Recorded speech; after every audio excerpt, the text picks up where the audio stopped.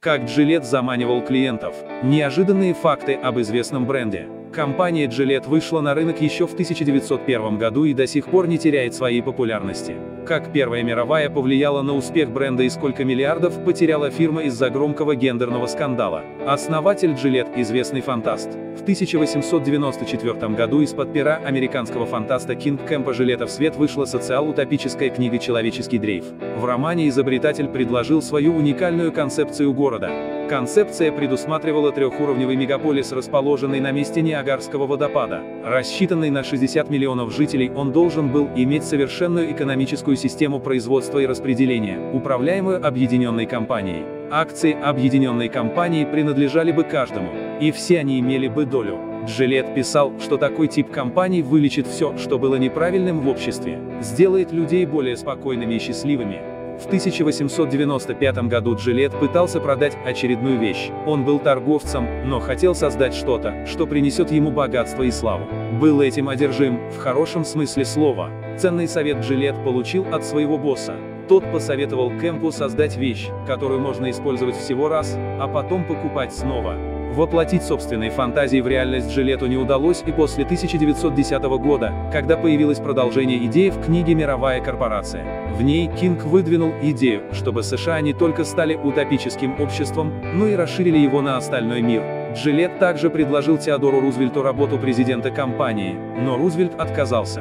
Мировое признание изобретателю и торговцу Кингу Кэмпу Джилету принес не его писательский талант, а предпринимательская жилка. Как безопасная бритва покорила рынок. Еще сто лет назад возможность пользоваться предметом одноразово считалась открытием. Революция в культуре потребления началась со станков для бритья. Джилет, сам того не осознавая, стал первопроходцем модели дешевый девайс, дорогие комплектующие, что впоследствии покорило весь потребительский рынок. Справка. Бритву Gillette используют 570 миллионов человек в 120 странах мира. Годовой доход компании превышает 14 миллиардов долларов. Мистер Gillette не был первым, кто предложил безопасный механизм. За сотню лет до него, француз Жан-Жак Перет предложил бритву с деревянной защитой на лезвии. Порезы это не исключало, но частично спасало от глубоких ран. А вот как раз безопасную бритву, такой, какой мы представляем ее сейчас, открыл миру именно Джилет в 1901 году. К тому времени мужчины брились опасными бритвами, которые приходилось править на кожаных ремнях, или точить у специалистов в парикмахерской. По легенде, Кинг Кэмп Джилет придумал свое изобретение именно во время бритья. Новая бритва должна была выглядеть так. Две пластины, между ними заточен кусок стальной ленты и Т-образная ручка. Джилет не изобрел собственно бритвенный станок. К моменту его изобретения несколько моделей этого устройства уже существовали. Новшеством стало недорогое тонкое лезвие из штампованной стали. Когда лезвие тупилось, его меняли на новое. На разработку технологии понадобилось 6 лет, а придумал ее не один Джилет, а также Уильям Никерсон. Том же 1902 году Кинг получил патент на Т-образную безопасную бритву и основал фирму Gillette Safety Razors Company. Производство началось в 1903 году, а за первый год компания смогла продать всего 168 станков и 51 лезвие. Уже в следующем году продажи достигали 90 тысяч станков и 120 тысяч сменных лезвий к ним. За два года Gillette стал миллионером. Впрочем, Gillette создал гораздо больше, чем бритву. Это был совершенно другой уровень маркетинга. Спрос на Gillette во время Второй мировой. Военным нужно было выглядеть опрятно, а времени и условий для бритья в окопах не хватало. К тому же, чисто выбритому лицу лучше прилегал противогаз, и у солдата было больше шансов выжить в случае газовой атаки.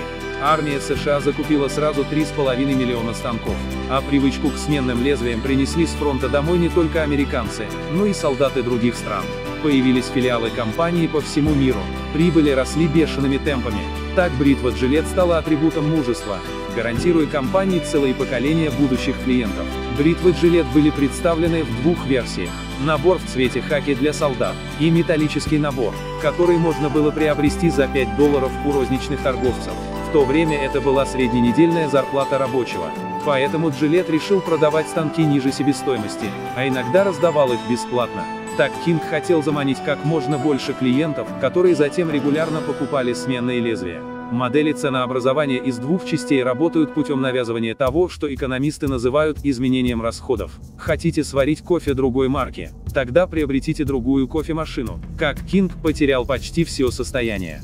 В 1910 году Джилет снова задумался о счастье для человечества выдал ту же книгу «Мировая корпорация». Но на этот раз от слов перешел к действиям, зарегистрировал общественную организацию. Он предложил правительствам мира уйти в отставку, а Всемирную корпорацию возглавить Теодору Рузвельту. 26-й президент США отказался. Предложение отвергли также Уильям Тафт и автомобильный король Генри Форд. Джилет был разочарован. Он планировал потратить на обустройство мирового правительства заработанные на бритвах 200 миллионов долларов. А теперь тратиться было не на что. Кэмп переехал в Калифорнию, где занялся выращиванием апельсинов. От врачей он узнал о полезных свойствах цитрусовых и увлекся еще одной утопической мечтой – накормить апельсинами всех американских детей. Романтическую иллюзию добил кризис 1929 года. Тогда Кинг потерял почти все состояние. Компания смогла устоять, но уже без своего основателя. Совет директоров заставил Кинга уйти из собственноручно созданного детища. Акционеры выкупили за бесценок его долю. А сам Кинг Кэмп Джилет умер фактически в нищете в своем апельсиновом раю. Модель крючка и наживки. Впоследствии маркетологи назовут такой подход бритва лезвия, или модель крючка и наживки, когда главный продукт продают по более низкой цене, а прибыль получают путем многократных продаж деталей. Двухкомпонентное ценообразование, также известное как модель бритвы и лезвий, потому что именно в этой сфере модель впервые привлекла внимание. Конкуренция с компанией Big, без King Кэмпа Джилета, Джилет продолжила свое развитие. С конца 1970-х компания начала поглощение Браун, в 1984-м, под Gillette легла Oral-B, а в 1996 году компания приобрела акции Duracell. Корпоративный лозунг компании «Мы перестанем создавать лезвия для бритв только тогда, когда их невозможно будет сделать лучше», отметил Гордон Брикс, инженер Gillette. После появления одноразовых станков компании Big в 1975 году, руководство Жилет, уже имея горький опыт борьбы с упорным конкурентом на рынке шариковых ручек и зажигалок, пыталось сразу вытеснить наглых французов из США. В 1976 году компания выпустила собственные модели одноразовых станков Gillette Blue и Gillette Blue 2. Правда, успех был временным. В 1977 Big зашла на американский рынок и в собственном стиле прибегла к агрессивной рекламной кампании. Рекламу пришлось снять с эфира. Американская компания справедливо попросила предоставить доказательства. Понятно, что захватить лидерство Big на всем рынке бритв не смогла, но в сегменте одноразовых товаров это удалось.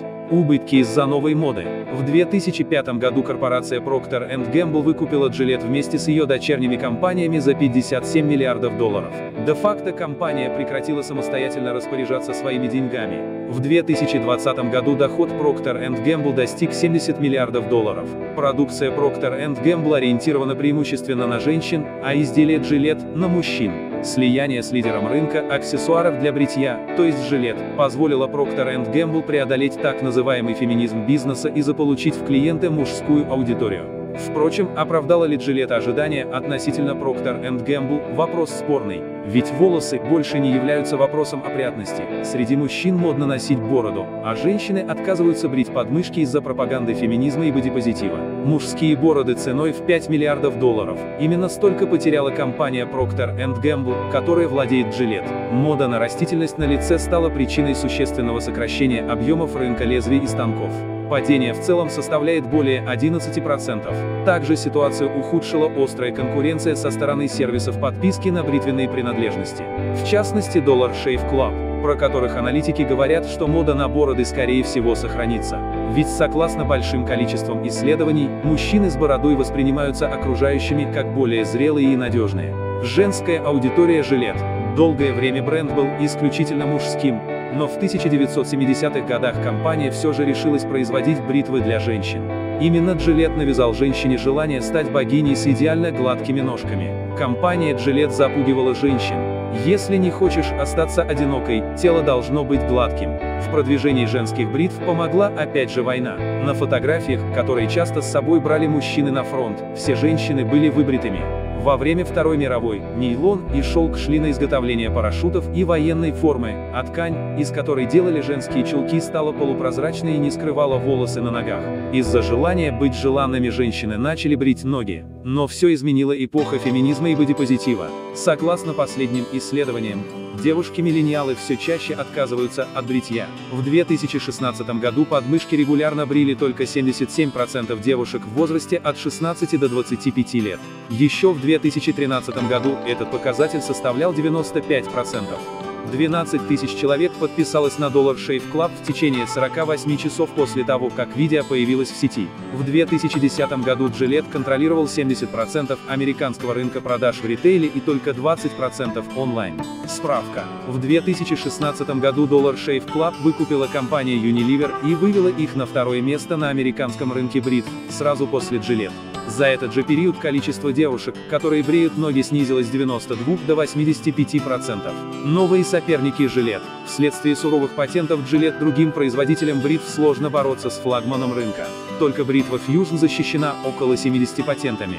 Но в 2012 году на пути Gillette встретились яркие соперники, сервисы доставки бритв Harris и Dollar Shave Club, которым удалось подвинуть позиции компании. Dollar Shave Club стал известным благодаря вирусному видео с участием основателя Майкла Дубина. Успех столетней компании подорвал новичок. Позиции охвата рынка компании Gillette упали до 54%. Пытаясь конкурировать с Dollar Shave Club, Gillette ввел услугу подписки Gillette On Demand. Цена стартовала от 7 до 20 долларов. Критика и скандалы. После неудачных попыток конкурировать с сервисами доставки, Gillette решили воздействовать на рынок уже привычным способом – манипуляцией ценностями. С 1989 года слоган компании звучал так «The best a man can get» – «Лучшее, что может получить мужчина». Но в 2019-м Gillette решили изменить слоган на We Believe, The best man can be – «Мы верим в лучшее в мужчинах». В новом рекламном ролике компания заявила, что в мире что-то пошло не так с пониманием мужественности. Тысячи просмотров на YouTube, обсуждения в соцсетях и эфирах телеканалов, шквал критики и бойкот. Негативная реакция на рекламную кампанию не прекращалась. 1,5 миллиона дизлайков против 797 тысяч лайков. Вслед за этим Gillette опубликовал еще один ролик, который стал поводом для громких заголовков, с трансгендерным мужчиной. В ролике рассказывают историю Самсона, художника из Торонто, о его первом опыте бритья с отцом. Как бы это ни случилось, и при любых условиях, твое первое бритье особенное. Это главный посыл видео. И общество оказалось не готовым к подобным заявлениям, а результат бурной реакции не заставил себя ждать.